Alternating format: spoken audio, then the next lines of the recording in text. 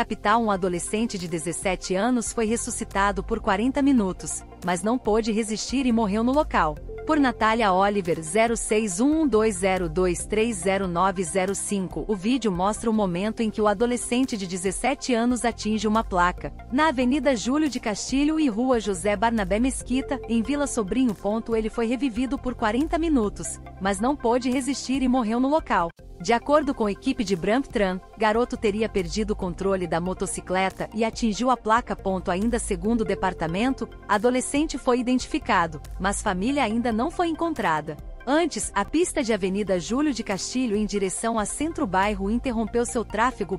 Um casaco cinza e uma tampa amarela estavam ao lado da motocicleta.